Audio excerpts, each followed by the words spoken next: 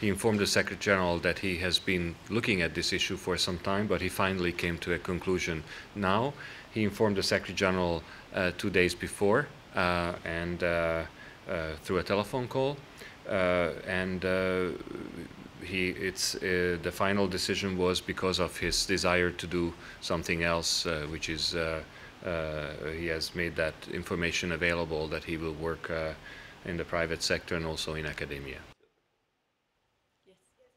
Mr. De Boer uh, gave in his resignation in a in a way that it actually allows the Secretary General to appoint a new executive secretary well in time to make sure that the negotiation process is not perturbed in any major way. Um, we don't know how long this will take, but it will certainly take a few months. And uh, the Secretary General is prepared to get the recruitment process going as soon as possible. In fact, he's already started that today.